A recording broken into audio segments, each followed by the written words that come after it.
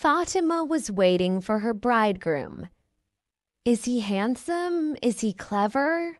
She asked her mother. You will see, her mother answered. He is coming with your dowry today. Not far away, Fatuma's bridegroom was driving the dowry cows over the river. Suddenly, a lion jumped out of the bushes. It caught one of the dowry cows and killed it. The bridegroom did not see the lion, but he heard the noise. Who is there? He called out. Who has killed my cow? I killed it, said the lion, and I'm a better man than you are. He came out of the bushes and the bridegroom saw him. What? said the bridegroom. You think you are a man? I'll show you. He jumped on the lion and they began to fight. Soon the lion was on the ground and the bridegroom was on top of him. You see, said the bridegroom, you are not better than me. I am much stronger than you. That's not true, said the lion. You are only strong because you have a right hand. Tie your right hand behind your back and fight with me again. The bridegroom agreed, and the lion tied his right hand behind his back. They fought again. Again the lion fell to the ground, and the bridegroom was on top of him. Now what do you say? said the bridegroom. Who is the strongest, you or me? Oh, I am the strongest, said the lion. You won because you have a left hand. Tie your left hand behind your back and fight with me again. So the lion tied the bridegroom's left hand behind his back. Now the bridegroom was helpless. He couldn't fight at all.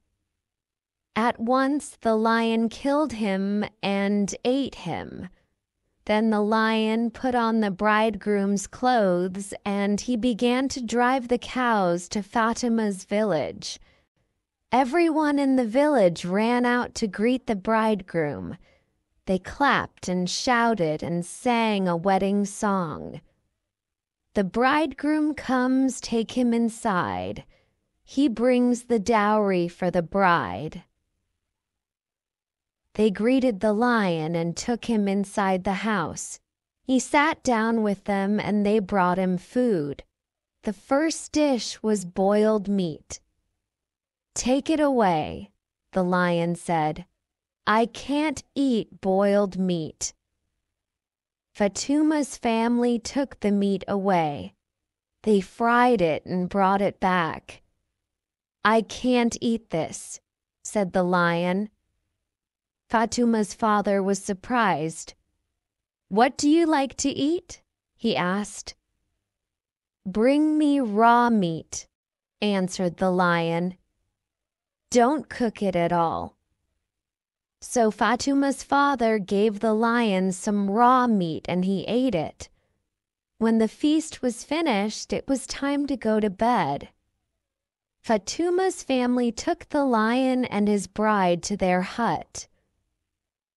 I can't sleep on this bed, the lion said. Why? asked Fatuma's father. What kind of bed do you want? I sleep on sticks and straw, said the lion.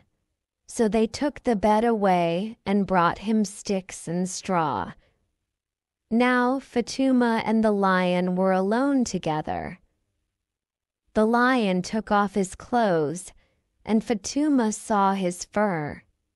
She was very frightened. Oh, oh, you're a lion. You're not a man at all, she shouted.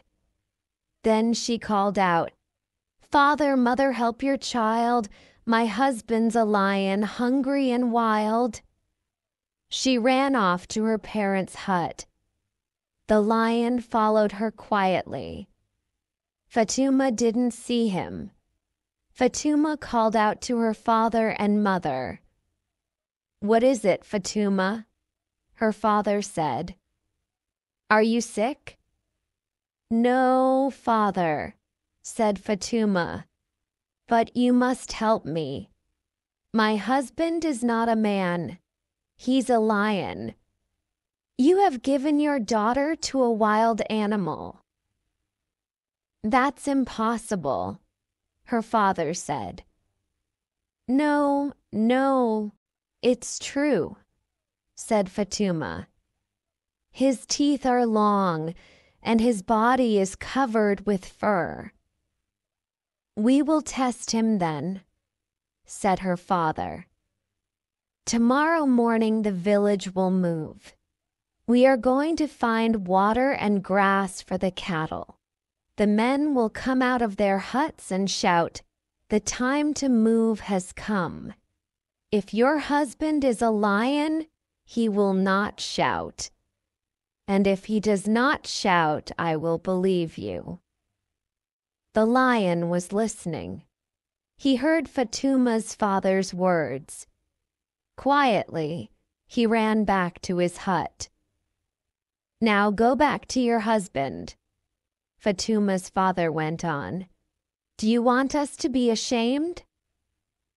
Sadly, Fatuma went back to the lion. The next morning, the lion woke up very early he ran outside his hut and roared, Why is the village still asleep? When will the people begin to wake? The time to move has come. Fatuma's father heard his voice. My daughter is a fool, he thought. Her husband is not an animal. He is a man.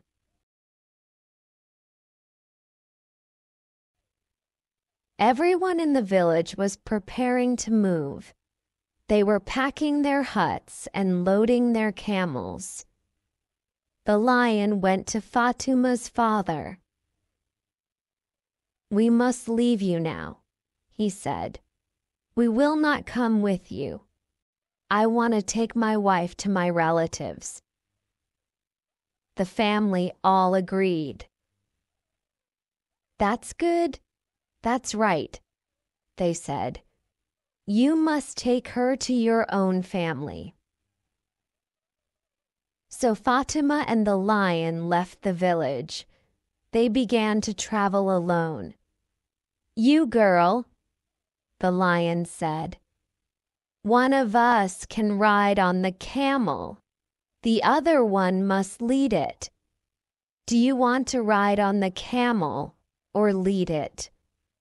I will lead it, Fatuma answered. If you are tired, you can ride. So the lion climbed up onto the camel and they began their journey. But the lion was hungry. He bit the camel's hump and ate a piece of it. Ah! Shouted the camel. Fatuma turned round. What's the matter with the camel? she said. He doesn't like your black scarf, said the lion. It frightens him. Take it off and throw it away. So Fatuma took off her scarf and threw it away. They went on a little further, but the lion was still hungry. He bit the camel's hump again. Ar! shouted the camel. What's wrong now? asked Fatuma. Your bracelets and your necklace are making a noise, answered the lion. The camel doesn't like it. Take them off and throw them away. So Fatuma took off her bracelets and her necklace and threw them away. They went on quietly for a while, but then the lion bit the camel's hump again. Harumph! Hurrah! The camel shouted. Now, what is it? asked Fatuma. He doesn't like your dress, said the lion. Take it off and throw it away. So Fatuma took off her dress and threw it away. Now she was like the animals. She had no clothes on at all. At last they came to a wild, empty place. There was no village here, no people, and no cattle. This place is good, said the lion. We will stop here. So Fatuma unpacked the camel and put up her hut. Stay here, the lion said. I will go and look for my relatives and I will bring food for us to eat. Listen for me carefully. If you hear go go book, go go book, I will have camels with me. If you hear chachaka, chachaka, I will have goats. If you hear chump, chump, I will have cows. The lion went away.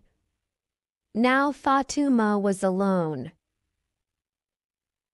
My husband is not a man, she thought. He is a wild animal, and his friends and relatives are animals too. Perhaps he will bring them back here with him, and they will eat me. What can I do? I can't go back to my family. They will not believe me, and they will be ashamed. No, I must run away. She took out a knife and cut off her little finger. She put it in the mortar. Then she went out of her hut and began to run. She ran and ran and ran.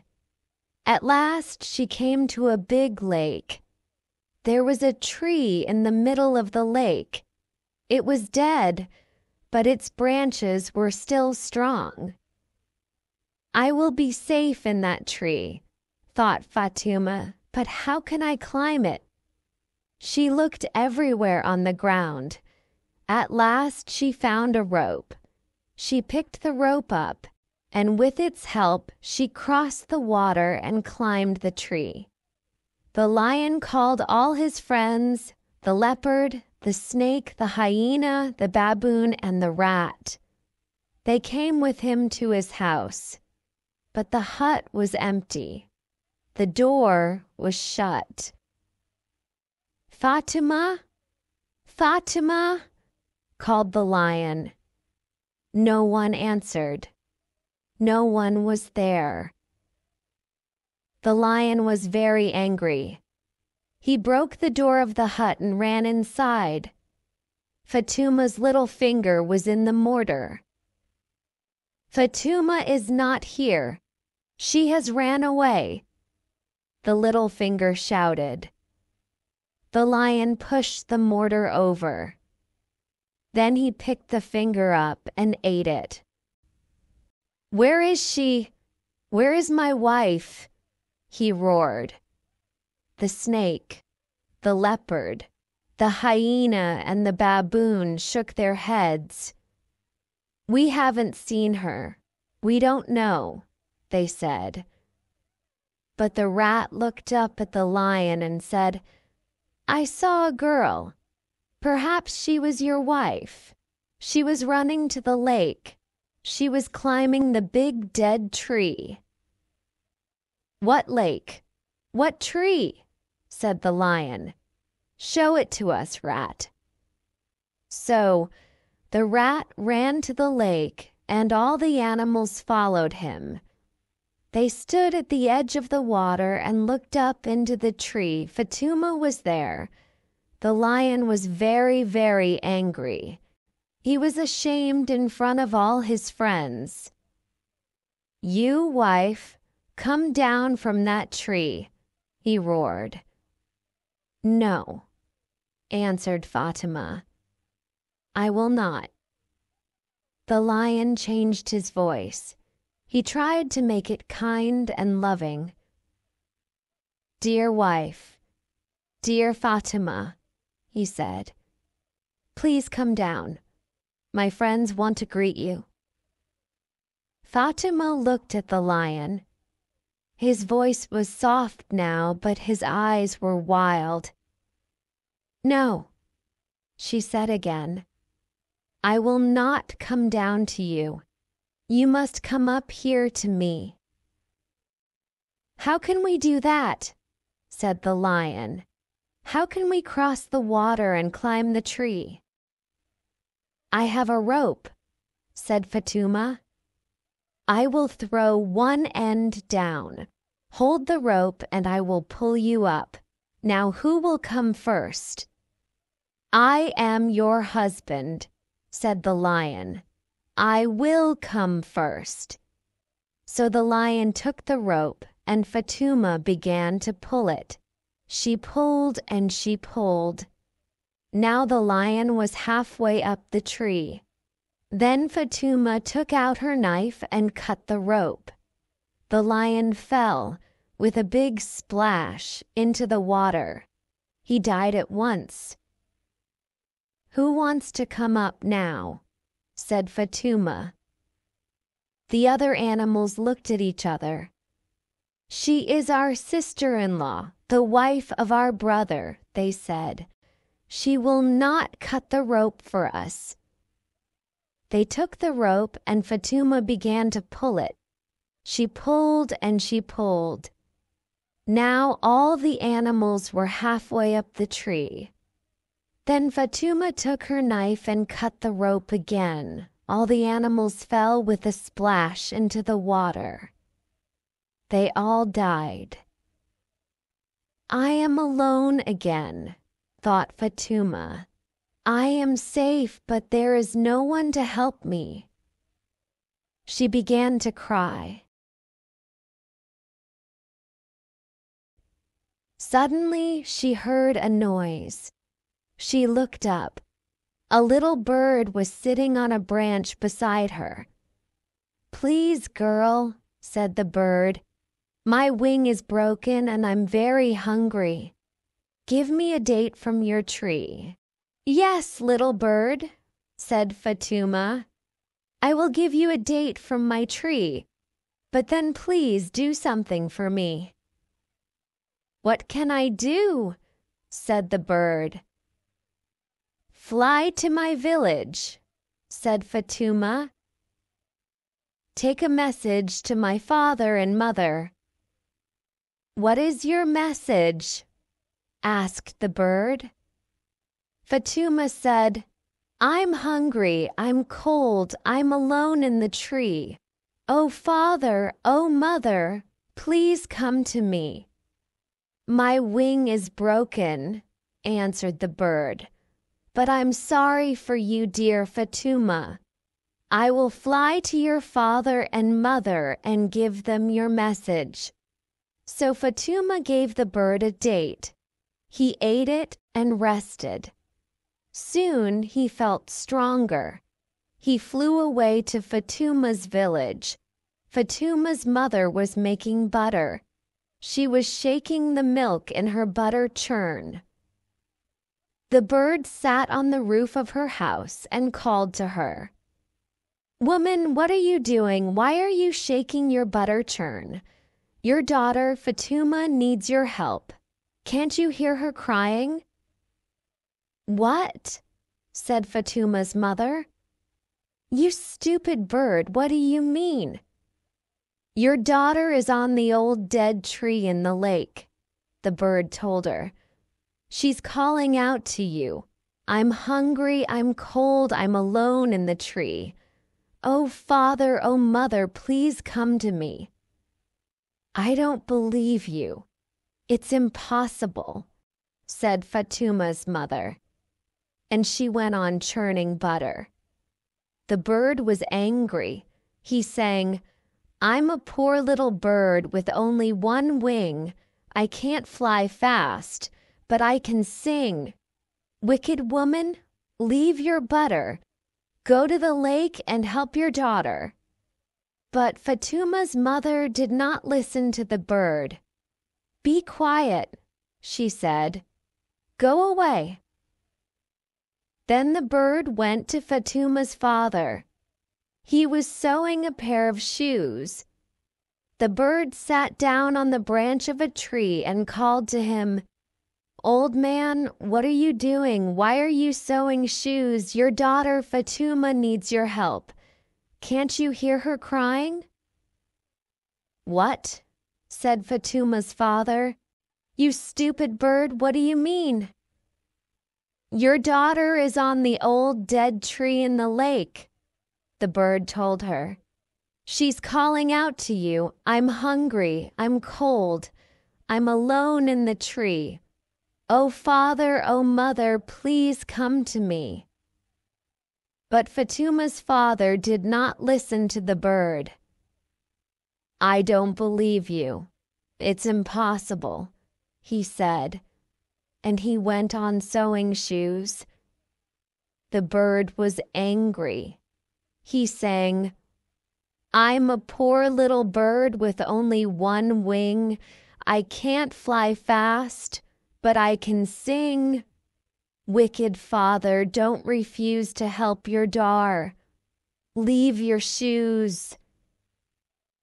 But Fatuma's father did not listen to the bird. Fly away, bird, he said. Leave me alone.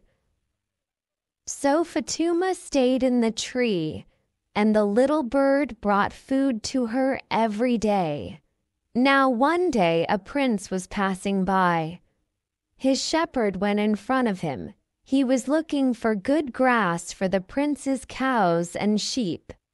The shepherd was deaf and dumb. He could not hear and he could not speak. He came to the edge of the lake and he looked up and saw Fatuma in the tree. The prince rode near the lake on his horse. The shepherd ran up to him. Mmm, mmm, he said. What is it, shepherd? What do you want? asked the prince.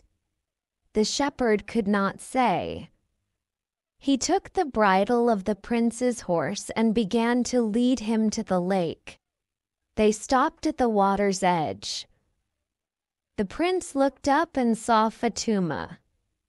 At once, he fell in love with her.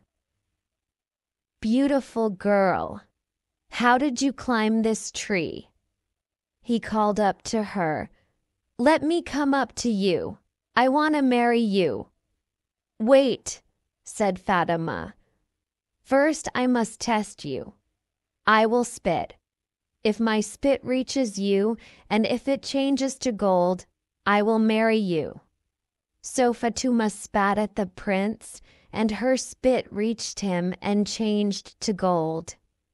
Then Fatuma climbed down from the tree and she married the prince, and she went to live with him in his palace. The years passed, and Fatuma's mother and father became very poor. Now they had no cows and camels, no sheep and goats. They were hungry, they had nothing to eat. We must go to the prince's palace, they said, and beg for food. So they went to the palace. Help us for God's sake, they cried. We are dying of hunger. Give us something to eat. Fatuma heard their voices. Is that my father? Can it be my mother? She thought. She went out to see them. At once, she recognized them. Give these people food, she said to her servants. Give them clothes and shoes. So Fatuma saved her parents, and she lived happily with her prince for the rest of her life.